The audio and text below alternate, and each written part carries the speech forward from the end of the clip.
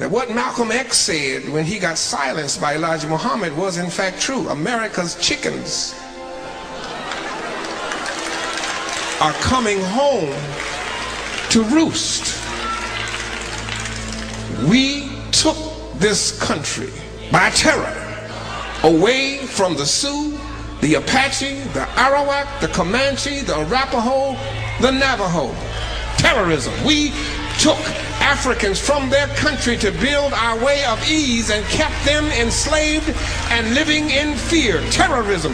We bombed Grenada and killed innocent civilians, babies, non-military personnel.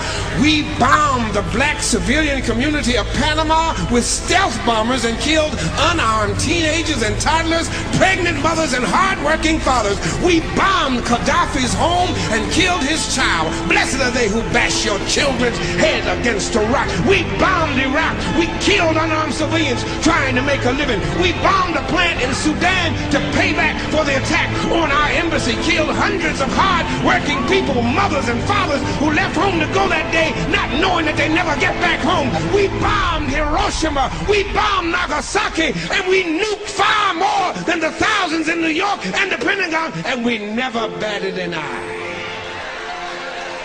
kids playing in the playground, mothers picking up children after school, civilians, not soldiers, people just trying to make it day by day.